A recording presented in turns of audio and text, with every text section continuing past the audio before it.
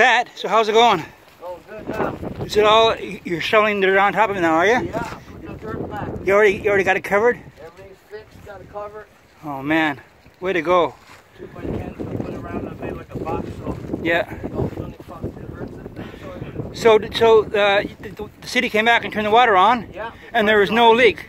No leak. We pressurized it downstairs. So that means we get the house, they've got water now. Yes. Hey, congratulations, man. Yeah, I know, it feels good. Now I gotta come tomorrow morning.